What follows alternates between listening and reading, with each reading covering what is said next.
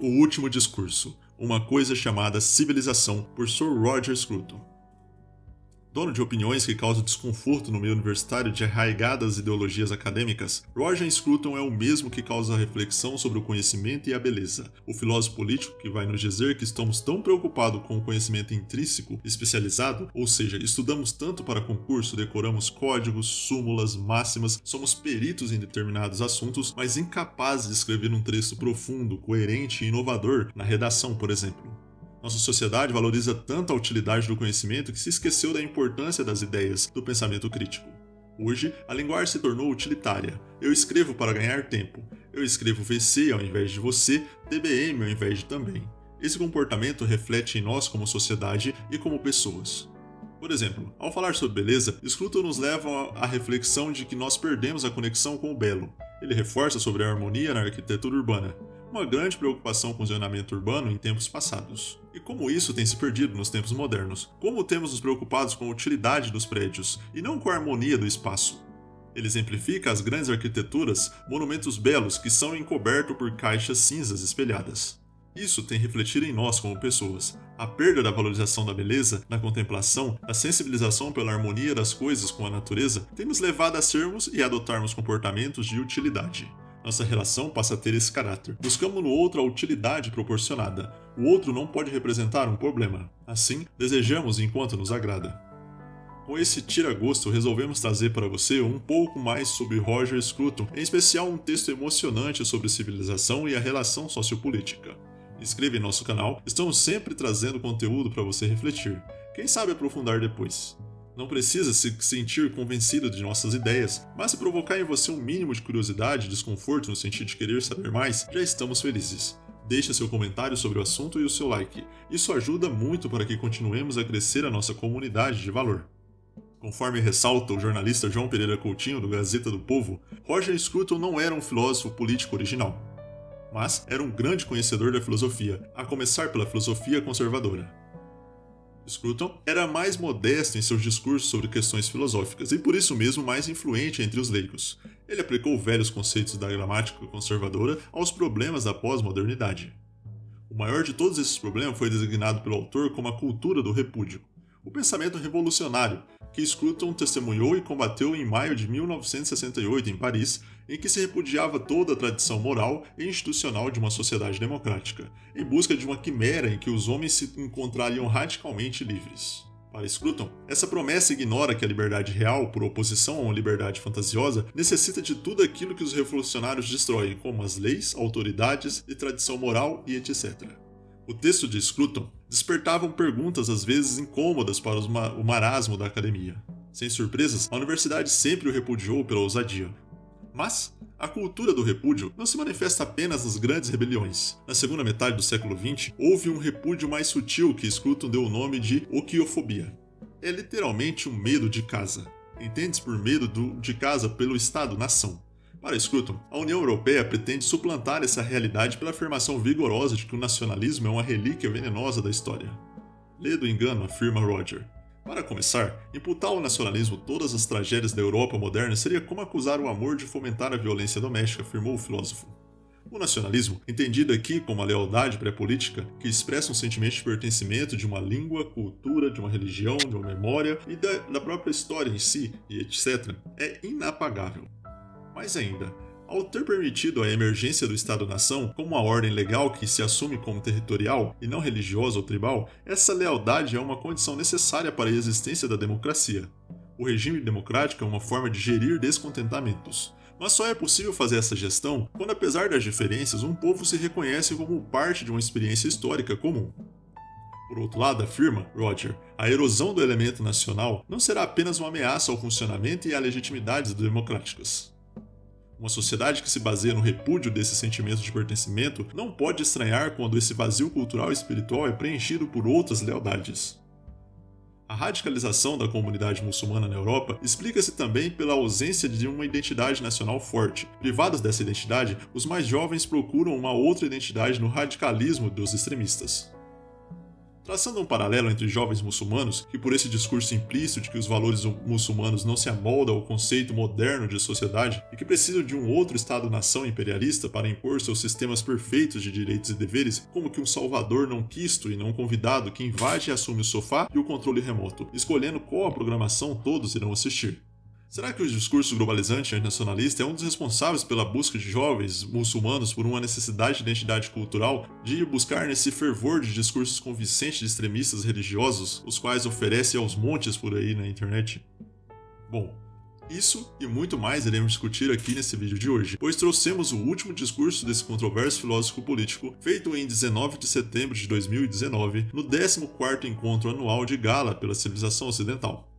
Sir Roger disse essas palavras ao receber o prêmio. Ele tinha sido recentemente diagnosticado com câncer, a doença que o levou à morte em 12 de janeiro de 2020. Em poucas palavras, Roger Scruton afirmou: É uma honra ser premiado como defensor da civilização ocidental, em 2019 pelo ISI, organização com a qual mantenho conexão há muito tempo e cujo trabalho parece mais importante e necessário do que nunca não só para os jovens, mas também para nós da geração mais velhas, que estamos tentando transmitir o que sabemos. A civilização ocidental tem sofrido muito ataque por ser ocidental. A palavra ocidental assumiu um caráter abusivo por muitas pessoas no mundo de hoje, sobretudo por pessoas que não têm a menor ideia do que ela significa, histórica, metafísica e poeticamente. Nossa civilização ocidental não é uma obsessãozinha específica de gente que por acaso vive em certa região geográfica do mundo é uma herança em expressão constante, sempre incluindo coisas novas.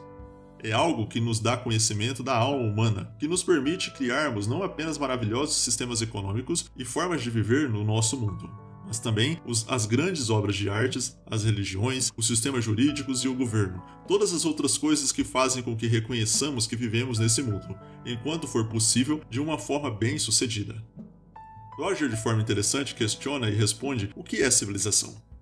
Deixamos de lado a ideia de civilização ocidental. Afinal, ela depende de como você vê o mundo, do Ocidente ou do Oriente. Em vez disso, vamos analisar a ideia de civilização. O que é isso? É uma forma de conexão entre as pessoas, não apenas uma forma por meio da qual as pessoas compreendem seus idiomas, costumes, comportamentos, mas também a forma com elas se conectam umas às outras, o olho a olho, a cara a cara, no cotidiano que compartilham. É algo que tem uma dimensão comum no ambiente de trabalho e na comunidade, no nosso dia a dia mas também é algo sobre o qual foi erguido a alta cultura, obras de artes, literatura, música, arquitetura e assim por diante. São formas de mudar o mundo de modo que nos sentimos mais à vontade nele. Acho que essa é a característica marcante da civilização ocidental, que é uma civilização abrangente que está sempre criando novas formas de nos sentirmos em casa, formas de nos relacionarmos uns com os outros, a qual gera paz e interesse mútuo como os principais laços entre vizinhos. Este é o ponto central nas ideias de Roger, e por isso chamado de conservador. Ele reforça a importância dos modelos culturais em que erguemos as bases de nossa comunidade, principalmente expressado pela arte, pela música, pela literatura, arquitetura e os ritos sociais, por exemplo pois a sociedade começa a se desmoronar, ser mais egoísta e desajustada quando os movimentos culturais passam a ser movimentos do repúdio. A destruição do que é clássico e das outras estruturas culturais, substituindo por uma filosofia de relativismo e revolução pelo anarquismo dos valores e da sociedade, geram incoerência entre querer uma sociedade segura e harmônica, construída através da ausência de normas a hegemonia da libertinagem. O opor como se os pais fossem representantes de uma suposta opressão. Ao invés de buscar em seu exemplo a experiência, forma de melhorar a si mesmo e de manter as tradições familiares e da sociedade. A sociedade moderna é líquida, baseada numa relação encarada como vítima do sistema. Essas pessoas passam a colocar toda a sua frustração em nome de um inimigo comum. As leis, o sistema meritocrático, o país, a igreja, as forças de segurança, o empregador, o empreendedor ou o próprio concurso. Ou seja, a minha ineficiência e a falta de aplicação das minhas habilidades não são culpa minha, mas na construção social como um todo que me empurra para baixo. Este pensamento passa a dominar o discurso e a moldar a estrutura do pensamento do jovem. Como consequência, eu tenho uma sociedade que, ao invés de melhorar seus sistemas de ensino, elas criam forma de bular a competência para justificar o acesso. E a cada vez mais, essa ampliação vai sendo desejada e expandida ao ponto de que não pauto mais na habilidade no conhecimento para ocupação de trabalhos ou de espaços públicos mas sim na característica pessoal, classe social, gênero, opção sexual e regionalidade e por aí vai criando uma incoerência social, em que desestimula a competição por espaço e aumenta o sentimento de vitimização social, ao ponto de que quem discordar de mim automaticamente se torna um ignorante e um egoísta. Roger prossegue. Ora, eu mesmo obviamente já me meti em muitos problemas por defender a civilização ocidental. Uma marca estranha do nosso tempo parece ser o fato de que quanto mais você se dispõe a defendê-la, mais você é considerado um fanático de mente estreita. Mas as pessoas que fazem essa acusação é que têm as mentes estreitas. São elas que não enxergam quão grande e abrangente foi a nossa civilização. Fomos criados, por exemplo, com a base na Bíblia Hebraica, um documento antigo que perpetua a civilização do Oriente Médio pré-clássico. Ela nos passa a sensação de como as pessoas vivem em comunidades tribais que preambulavam pelo deserto e assim por diante. Aprendemos e estudamos os grandes épicos romanos e gregos que nos ensinaram idiomas diferentes, línguas mortas, mas línguas que retratam o mundo sob uma luz diferente do mundo criado por nossos idiomas contemporâneos. Somos criados com base na literatura da Idade Média, boa parte dela influenciada pela literatura árabe, claro. Na verdade, todos nós já ouvimos histórias tiradas de Mil e Uma Noite. Quanto mais você analisa, mais você percebe quão abrangente e universal é a herança da nossa civilização. Isso é algo que tendemos a esquecer hoje em dia. Não é um legado restrito. É algo que está realmente aberto a todos os tipos de inovações, que aceita a totalidade do ser humano como seu tema. Assim é que eu vejo. Sempre gostei de ser professor de humanidades porque sei do que as humanidades tratam. Tratam de ser humano e de como o ser é diverso e amplo no mundo em que vivemos hoje. O que quer que façamos, devemos reagir contra a acusação de que nossa civilização é alguma forma estreita, dogmática, intolerante e excludente. Não é dessa forma, de forma alguma. Comparando com o que, afinal, recebemos essa acusação? Comparado com os chineses? Somos estreitos, intolerantes e excludentes quando deixamos de lado a grande tradição confucionista? De jeito nenhum. Foi criado como um dos muitos outros, com o interesse pela civilização chinesa. Lemos o livro das Odes na tradução de Ezra Pound Todos nós nos apaixonamos por Das Lied von der Eder, de Mahler, um dos maiores usos da poesia chinesa em toda a história da música. E certamente muito de tudo o que ouvimos na música chinesa. Olha só, aí está a afirmação preconceituosa. Mas reconhecemos que isso não é preconceito algum, o fato de um compositor como Mahler poder direcionar seus sentimentos vienenses na direção daqueles poemas de solidão que o levaram a compor uma música tão bela mostra um aspecto tolerante e generoso da nossa cultura deixando-os ao fim de, do último momento com aquele coro incrível que, como escreveu Benjamin Britten, permanece impresso no ar. Que somos obrigados agora a assumir uma posição de defesa quando qualquer pessoa que saiba um pouco sobre o assunto sabe o que chamamos de civilização ocidental é apenas outro nome para a civilização e para todas as realizações que os jovens precisam conhecer e ser possível adquirir? O problema parece que na invasão da academia e do mundo intelectual por grupos ativistas de que não se dão ao trabalho de perceber contra o que estão se posicionando, e que mesmo assim definem a sua posição em termos de pautas políticas. Essas pautas políticas tratam de todas de pertencer a um grupo de salvacionista. Nós estamos salvos porque acreditamos nas coisas certas e procuramos em todos os lugares por seres peçonhentos que tentam nos impedir de tomarmos posse de nossa herança por direito. Perceba a crítica do filósofo ao crescente discurso político, acadêmico, na mídia e na internet em uma espécie de rasa de argumentação, como que fundamentado em 150 caracteres. As pessoas não querem mais buscar as bases originais e a construção do pensamento. Elas sonham com uma solução que acham ser certo e montam a militância em torno de suas ideias. Transformam sua motivação de vida em construir um pseudo-debate social em que o ativismo social se torna uma espécie de salvacionismo. A nova religião social em que todos que discordam de mim vai arder no fogo do inferno, ou melhor, no cancelamento. Roger prossegue. E todas as novas causas são escolhidas com base nisso. São causas de pessoas que querem se sentir que a ordem atual das coisas as exclui, que portanto elas têm uma justificativa para destruir essa ordem a fim de ocupar o lugar no topo dela. Uma vez no topo, elas reorganizarão as coisas de modo a purificar todas as influências antigas corrompidas vistas como um problema. Acho que essa invasão do ativismo político nas universidades e nas humanidades e em todos os canais de civilização é um dos maiores desastres de nossa época. Mas isso não tinha de ocorrer. Não temos de ouvir o que essas pessoas dizem. Não somos obrigados a nos envolvermos nos julgamentos públicos, nas denúncias, em todas as formas como as pessoas são caçadas e excluídas por esta comunidade. Esses ativistas só têm sucesso porque nós participamos dessas atividades. Não temos de participar. É possível dar um passo para trás e rir de algumas coisas que estão sendo ditas. Se você parar e pensar em todo o furor quanto ao ativismo transgênero, boa parte dele é pura confusão. Uma confusão da qual as pessoas querem ser resgatadas. Boa parte da raiva é um pedido de socorro. Fiquem calmos e digam: há outras opiniões como a sua. Você podem ter um bom argumento, mas não é o único argumento. Vamos nos acalmar e discutir isso. Vamos analisar isso no contexto da civilização como um todo, o do caminho para onde ela está indo, do rumo que está tomando. Fazer isso deve ser o bastante para eliminar boa parte da tensão que nos aflige. Roger afirma que estamos em um tempo de coragem. E sinto que agora é a hora de levar novamente a coragem e a convicção aos jovens que sabem que há algo de errado com essa caça às bruxas dos ativistas contra a tradição. Chegou a hora, me parece, de pessoas como eu, das gerações mais antigas, de professores, darmos coragem aos jovens de dizermos: olha, você tem uma civilização e uma herança que ajuda a compreender essas coisas. Ceder a este tipo de ativismo excludente que ignora proporções inteiras de conhecimento humano não faz bem.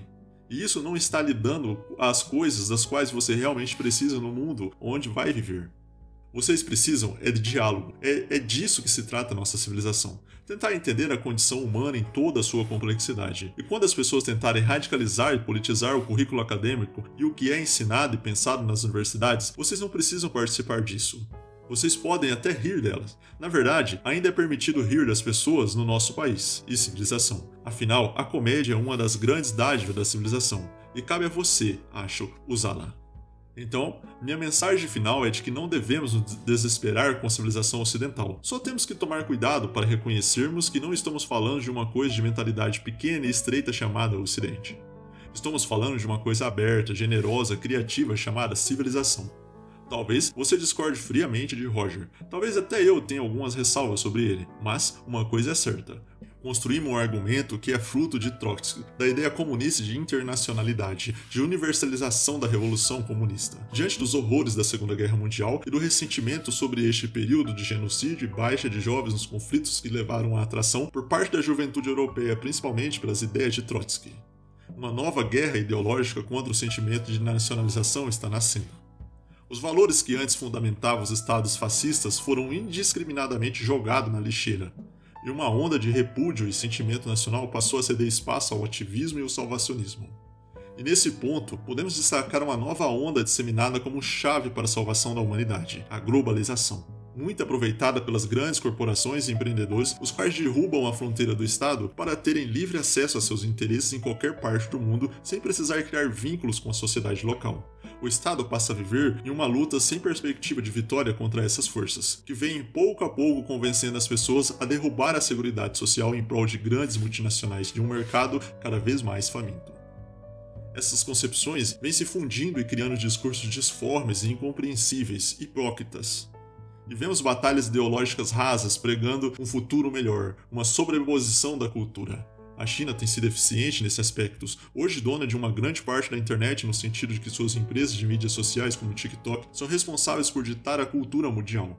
O seu algoritmo fornece aquilo que é mais interessante para os interesses geopolíticos. Você se distrai cada vez mais com futilidades, com NPC, com dancinha, com meme, enquanto na China as crianças e adolescentes são treinadas com um algoritmo diferente, feita para demonstrar respeito pelos valores, obediência, competição por mercado de trabalho, concepção de família, valores elegidos como os desejáveis pelo governo chinês, que torne a sua nação mais competitiva no futuro e que as outras nações que consomem seus produtos tornem menos competitivas.